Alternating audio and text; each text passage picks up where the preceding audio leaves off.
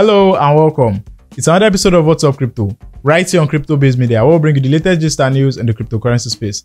My name is Rock and here are the headlines for this week. Donald Trump promises to become the crypto president. Crypto markets dip viewed as brief shakeout. Traders anticipate bullish rebound. Roaring Kitty livestream attracts 700,000 viewers despite GameStop's decline.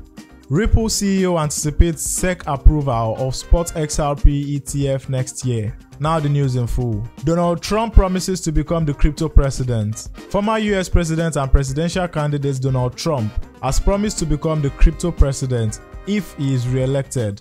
He has vowed to abolish the anti-crypto policies implemented by Joe Biden and SEC Chair Gary Gensler, asserting that their policies will come to a halt within one hour of a second Trump administration. Crypto markets dip viewed as brief shakeout, traders anticipate bullish rebound. Bitcoin, Ether, and the broader altcoin market experienced a downturn on June 7 after US employment data surpassed expectations.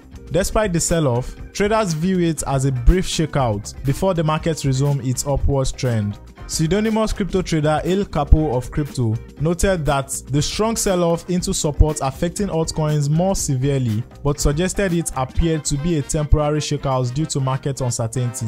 The unexpected increase in jobs contradicted analysts' predictions that weaker employment data would lead to lower inflation and push Bitcoin to new highs. Roaring Kitty livestream attracts 700,000 viewers despite GameStop's decline. On Friday, notable investor Keith Gill, also known as Roaring Kitty, held a live stream starting 25 minutes late and appearing bandaged.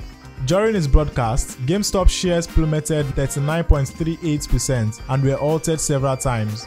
Ripple CEO anticipates SEC approval of Spot XRP ETF next year. Ripple CEO Brad Garlinghouse expects that the SEC will approve Spot XRP ETFs next year, emphasizing their inevitability. He discussed US cryptocurrency regulations, noting the SEC's move toward pragmatism following recent court defeats. Alright, that's it. You are now updated. Thank you for watching Crypto Base Media. Make sure you like this video and subscribe.